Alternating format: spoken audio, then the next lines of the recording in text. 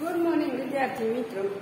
આપણે આજે આ નવા વિડીયોમાં ફરી મળીએ છીએ. તો તમે લોકો તમારું પાઠ્યપુસ્તક પર્યાવરણ આસપાસ કાઢો. આપણે પાઠ ત્રણ, પાણી પાણી. જ્યાં જવો ત્યાં પાણી પાણી. એ પાઠ વિશે આપણે એક ગીત હતું એ પણ ગત વિડીયોમાં ગાયું હતું બરોબર છે. અને પાણી વિશે આપણે વિચારો, લખો એ પણ લખ્યું હતું પાણી વગર કયા કામ થઈ શકે? પાણીથી કયા કામ થઈ શકે? એ આપણે લખ્યું હતું. બરોબર છે? પછી કયા કામમાં પાણી વધારે જોઈએ અને કયા કામમાં પાણી ઓછું જોઈએ? એના વિશે પણ આપણે લખ્યું હતું. બરોબર છે? વિદ્યાર્થી મિત્રો, હવે આપણે પાના નંબર બાવીસ ઉપર પહોંચ્યા છીએ. પાણી ક્યાંથી મળે? સવાલ પૂછ્યો છે, પાણી ક્યાંથી મળે? નદી, તળાવ અને ઝરણાઓ વિશે ગીત ગાયું. એટલે કે છે કે આપણે નદી, તળાવ અને ઝરણાઓ વિશે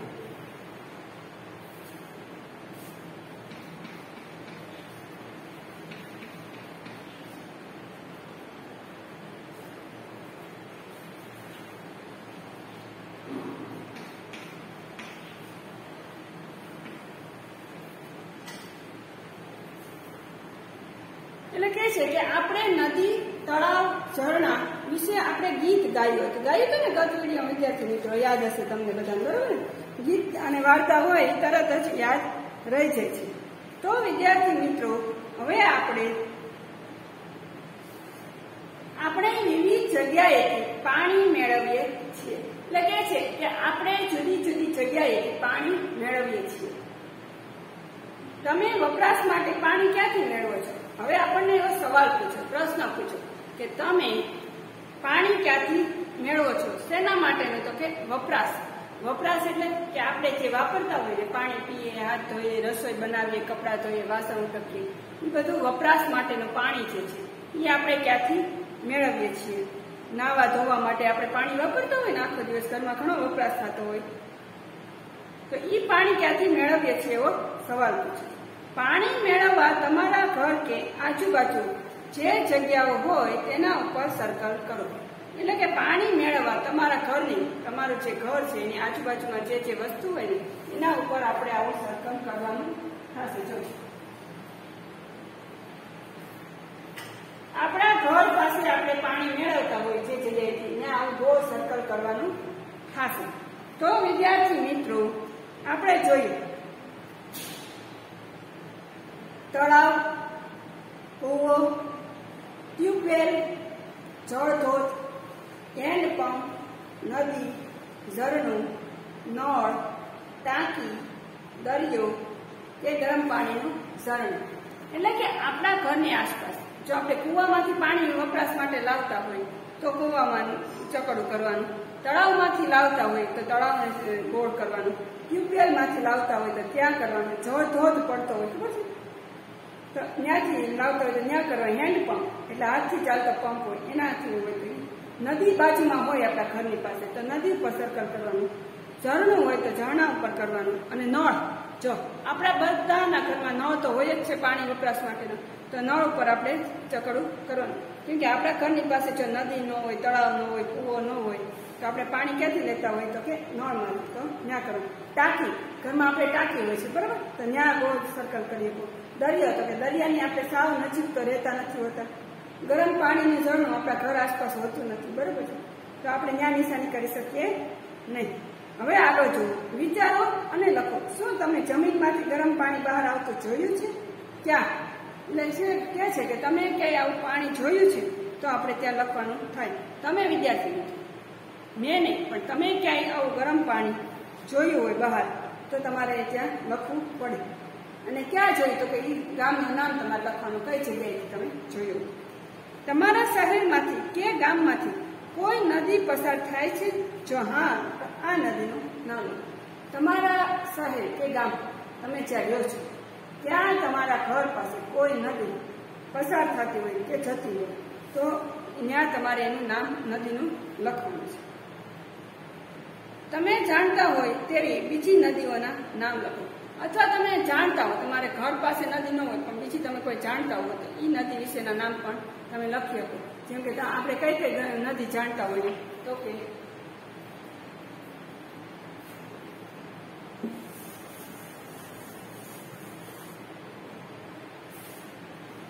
ગંગા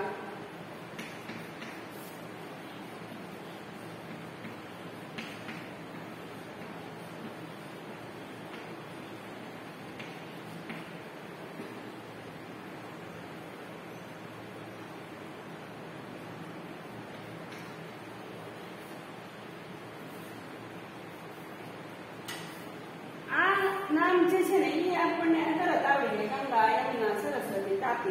એટલે આપણે આ નામ લખ્યા છે. બીજી ઘણી બધી નદીઓ હોય છે. આ નામ આપણને જલ્દીથી યાદ રહે અને આપણે આવડે પણ ખરા. આપણે કૃષ્ણના ભજન ગાતા હોઈએ, તો એમાં પણ આવું ગંગા, યમુના એવું નામ આવતું હોય છે. આવે છે ને, ગંગા જળમાં કેસર ઘોળી એટલે આપણે આવું ગંગા છે, યમુના છે, એવા નામ આપણને આવડતા હોય. વિચારો અને કહો. આ જે નદીઓના નામ લખ્યા છે ને વિદ્યાર્થી મિત્રો એ ત્રીજા ખાનામાં તમારે અહીં લખવાના થશે. અહીંયા તમે જોયેલા હોય એવા, તમારી આસપાસ હોય એવું લખવાનું, બરાબર છે? વિચારો અને કહો. ઘરમાં તમે પીવાનું પાણી ક્યાંથી મેળવો છો? આ તમારે વિચારવાનું અને કહેવાનું કે પીવાનું પાણી તમે ક્યાંથી લાવો છો ઘરમાં? નદીમાંથી, તળાવમાંથી કે નળમાંથી કે કૂવામાંથી લાવો છો? બરાબર? ત્યાં તમારે બાજુમાં લખવાનું થશે. પછી આ તમારે પાકી નોટમાં લખવાનું છે. વિચારો અને કહો એ પાકી નોટમાં લખી નાખવાનું તમારે પાણી મેળવવા ક્યાં જવું પડે છે? એટલે કે છે કે તમારે પાણી મેળવવા માટે ક્યાં જવું પડે છે? એ તમારે લખવાનું છે. પાણી લાવવા માટે કેટલો સમય લાગે? તમે જ્યાંથી પાણી ઘરમાં લાવો છો, એને કેટલો સમય તમને લાગે છે? ઘરમાંથી, ફળિયામાંથી, આજુબાજુમાંથી પાણી લઈને આવતા હોય? ઘરમાં લાવતા કેટલી મિનિટ લાગે કે અડધી કલાક લાગે કલાક લાગે તમારે લખવું આપણે પાણીનો સંગ્રહ કરવાની જરૂર કેમ છે? આપણે પાણીનો સંગ્રહ શું કામ કરવો પડે? તો કે આપણે પાણી, જો નળ વાટે આ મળતું હોય, તો નળ છે એ અમુક સમયે જ આવતો હોય. કે સવારમાં હોય, બપોરે હોય, સાંજે જે સમય નળનો હોય, એ સમયે અડધી કલાક કલાક આવતો હોય, પછી નળમાં પાણી આવે નહીં. એટલે આપણે એનો સ્ટોક કરવો પડે.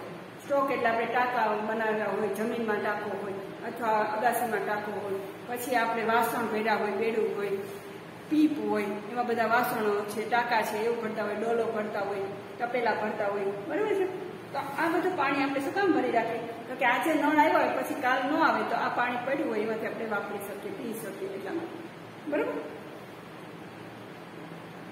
તમારા ઘરમાં પાણીનો સંગ્રહ ક્યાં થાય છે? તમે પાણીનો સંગ્રહ, એટલે કે ક્યાં રાખો છો? પાણી જે નળ આવે, ત્યાં તમે પાણી ભરતા હશો.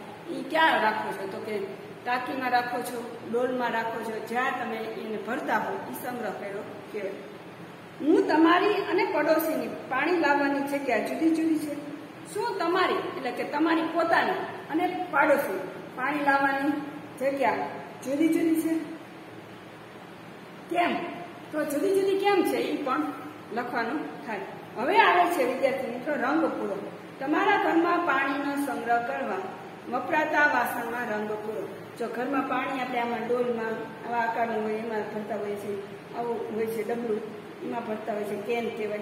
પછી લોટો ભરતા હોય, જગ ભરતા હોય, બે માટલો ભરતા હોય, હાંડો ભરતા હોય, ઘડો ભરતા હોય. આમાં તમારે કલર પૂરવાનો થશે. શું કરવાનું થશે, વિદ્યાર્થી મિત્રો? તો કે અહીં તમારે કલર પૂરવાનો થાય. એની પછી આવશે, વિદ્યાર્થી મિત્રો. તમારી નોટબુકમાં બીજા પાત્રોના ચિત્રો દોરો. એટલે કે તમારી જે નોટબુક છે ને, એમાં બીજા પાત્ર એટલે કે વાસણો દોરો. બરાબર? તમે ઘરમાં પાણી ભરતા હોય, તપેલું હોય, ડોલ હોય, ટાંકો હોય, તો એવું તમારે ચિત્ર દોરવાનું ને એમાં કલર પૂરવાનો તમે ઘરમાં પાણી સંગ્રહ કરવા વાપરતા હોય તેવા પાત્રોના નામ લખો. તમે ઘરમાં પાણી સંગ્રહ કરો, એમાં જે વાપરતા હોય એ પાત્રોના નામ લખવાના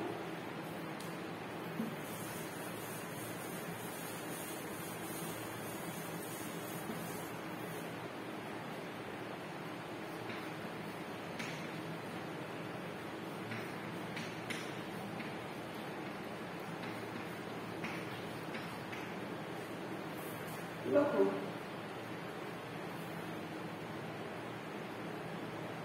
તમારે પાકી નોટમાં લખવાનું થશે તમે ઘરમાં પાણી સંગ્રહ કરો કરતા હોય ટાંકું. પી કે ડોલ ટબ તગારું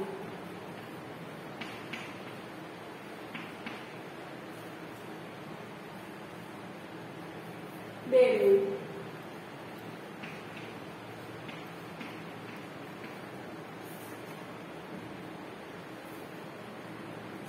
તપેલું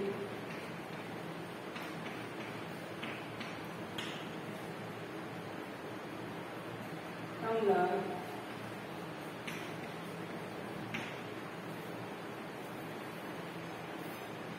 આપણે ઘરમાં પાણી સંગ્રહ એટલે કે જેમાં રાખતા હોય, એવા સાધનોના નામ ક્યાં? તો કે ટાંકો ટી કેન ડોલ ટપ તગારું, બેડું, તપેલું અને ટમલર આવા વાસણોમાં આપણે પાણી ભરતા હોઈએ છીએ. હવે લખું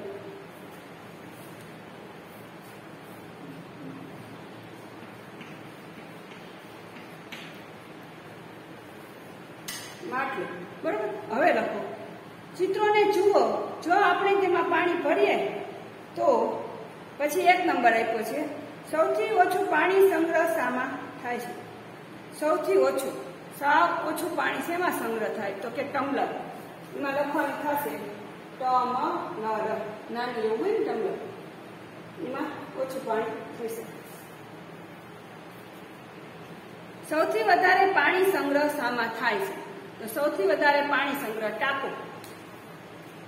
જે ટાંકો હોય ને, એમાં થઈ શકે. કયા કયા પાત્રમાં સરખું પાણી ભરી શકાય? કયા કયા પાત્ર તો કે એક સરખા પાત્ર હોય ને, એમાં સરખું પાણી ભરી શકે. નાની મોટી સાઈઝ હોય, કેમ કે પાત્ર જે છે, વાસણ જે છે કોઈક લાંબો હોય, કોઈક ટોળું હોય. બરોબર છે? તો જે એક સરખી સાઈઝનું હોય, બધા વાસણ, એમાં એક સરખું પાણી ભરી શકે. એની પછી, ચકુ વ્યાકુળ છે. હવે ચકુ છે. એ વ્યાકુળ છે. એના વિશે આપણે સમજીએ. રૂચન અને ચકુને ખૂબ જ તરસ લાગી હતી. તેમના કાકાએ બંનેને કેરીનો બાફલો સ્ટીલના પ્યાલામાં આપ્યો. એટલે રૂચન અને ચકુ આ બે જે છે, એને ખૂબ જ પાણીની તરસ લાગી હતી. ગરમી હોય, ઉનાળો હોય, એમાં ખૂબ જ વધારે તરસ લાગતી હોય છે. તો એમના કાકાએ કેરીનો બાફલો બનાવી અને સ્ટીલના પ્યાલા એટલે કે ગ્લાસમાં આપ્યો. પરંતુ ચકુને બાફલો કાચના પ્યાલામાં પીવો હતો. પણ ચકુને છે આ સ્ટીલના ગ્લાસમાં નહીં, પણ જે કાચના ગ્લાસ આવે એમાં એને પીવો હતો. તેના કાકાએ બાફલો કાચના પ્યાલામાં આપ્યો. એટલે એના કાકા છે એને આ ગ્લાસમાંથી કાઢી અને કાચના ગ્લાસમાં એને આપ્યો. પરંતુ ચકુ ખુશ ન હતી. પરંતુ તોય ચકુ ખુશ ન હતી એને જોતો હતા એ ગ્લાસમાં કાકા એને બાફલો આપ્યો, છતાંય ખુશ ન હતી શું કામ ન હતું એ આપણે જાણીએ. તેણે ફરિયાદ કરી, કાકા, તમે મને ઓછો બાફલો આપ્યો. એટલે કે છે કે, કાકા, તમે મને ખુશ શું કામ નથી? તો કે તમે મને ઓછો બાફલો આપ્યો. એટલે કે જે શરબત હતો બાફલાનું કેરી, એ ઓછું આપ્યું. હવે ચર્ચા કરો. અને કહો, શું ચકુના કાચના પ્યાલામાં ઓછો બાફલો હતો? એટલે કે છે કે શું? ચકુના કાચનો જે ગ્લાસ છે, એમાં ઓછો બાફલો હતો. સ્ટીલના ગ્લાસ કરતાં કાચના ગ્લાસમાં થોડું ઓછું સમજવું જ્યાંથી પાણી મળી આવે છે, તેવા સાત નામ શોધો અને લખો. અહીં તમારે નામ શોધવાનું અને અહીં લખવાનું. જો પેલું જ ધો, ધ, એ આપણે અહીંયા લખ્યું છે. પછીનું આપણે નદી જે અહીંયા આવશે. જો તમારા પુસ્તકમાં કાઢી રાખો અને પેન્સિલ લઈ રાખો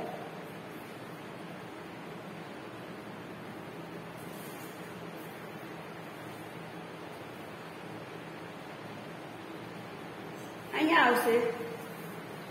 નદી. નદી છે અહીં લખવાનું. બરોબર? જો, અહીંયા જ તો જ છે, જે આપણે અહીંયા લખ્યું. હવે પછી આવશે નદી, જે અહીંયા ઊભી આપી સોરી અહીંયાથી અહીંયા છે નદી નદી અહીંયા ઊભી લાઈનમાં ત્રીજો શબ્દ પા વ અને એની પછી ન અને દી છે નદી આ સુધી તમારે આવો ચોરસ કરવાનો થાય જે અહીંયા કર્યું છે ને, એવું ચોરસ અહીં કરવાનું. કલર કરો તો પણ હાલે. અને ચોરસ કરશો તો પણ ચાલે. એની પછી છે, ધરણ. અહીંયા નિશાની કરો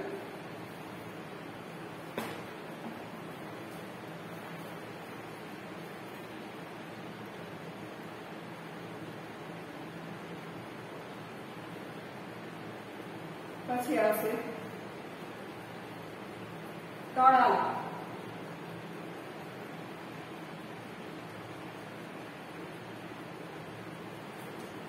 દરિયો. દરિયો. કૂવો.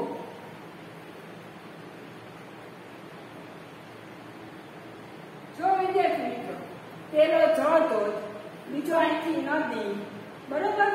અહીંયા ઝરણું કની નીચેથી ઝરણું. પછી આવશે તળાવ બીજી લાઈનમાં.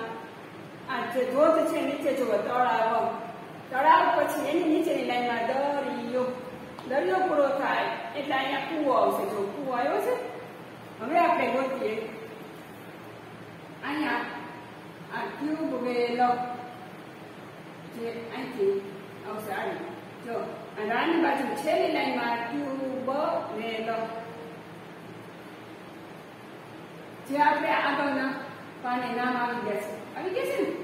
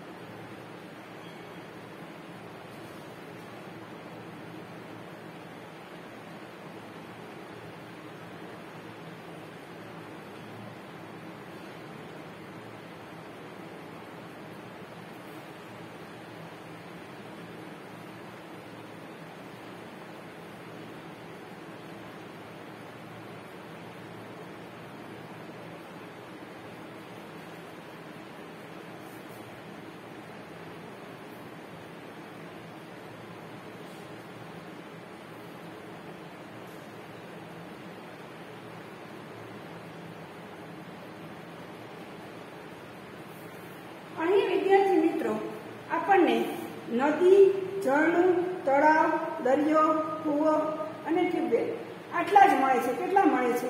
તો કે આટલા.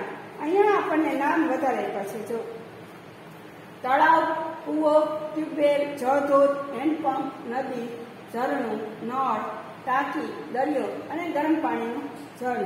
પણ આપણને એમાંથી બધા એ ત્યાં મળતા નથી. સાત નામ શોધીને લખવાના છે. છ થયા છે આપણે. કેટલા?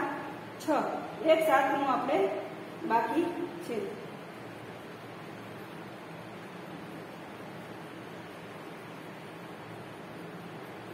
તમે શોધો અને હું શોધું. સાતનું નામ. બરાબર? સાત ગોતવાના છે. એક, બે, ત્રણ, ચાર, પાંચ, છ ને સાત. થઈ ગયા વિદ્યાર્થી મિત્રો. જો જળધોધ નદી બે ઝરણું ત્રણ, તળાવ ચાર, દરિયો પાંચ, કુવો છ અને ટ્યુબવેલ સાત. થઈ ગયા? બરાબર? જો એક, બે, ત્રણ, ચાર, પાંચ, છ અને સાત. સાત નામ થઈ ગયા. આપણે સાત જ ગોતવાના છે. આ સાત નામ તમે પાકી નોટમાં લખી નાખજો. હવે આગળ જુઓ. બીજાથી અલગ હોય તેના પર ગોળ ચક્કર સર્કલ કરો. કઈ રીતે અલગ છે એની ચર્ચા કરો. બીજાથી અલગ. જેમ અમુક વસ્તુ આપણી પાસે હોય, જે બીજા પાસે ન હોય, તો એ અલગ પડતી હોય કે નહીં? અને બીજા પાસે હોય, જે આપણી પાસે ન હોય, તો એવી અલગ વસ્તુ હોય એના ઉપર ગોળ સર્કલ કરવાનું. નદી, પર્વત, તળાવ, ઝરણું, સરોવર. આમાંથી અલગ હોય ને, એના ઉપર આપણે કરવાની. જેની આજુબાજુમાં જે હોય, પાણી મેળવવાનું સાધન જેની આજુબાજુમાં. કોકના ઘરની પાસે કૂવો હોય, કોઈકના ઘરની પાસે ડંકી હોય, કોઈકના ઘરની પાસે નળ હોય કોઈકના ઘરની પાસે હેન્ડપંપ હોય, બરોબર? ખેતરવાડીવાળા પાસે રહેતા હોય, તો એના પાસે હેન્ડપંપ પણ હોય. તો જેના ઘર પાસે જે હોય ને અલગ એના ઉપર નિશાની કરવાની, બરોબર?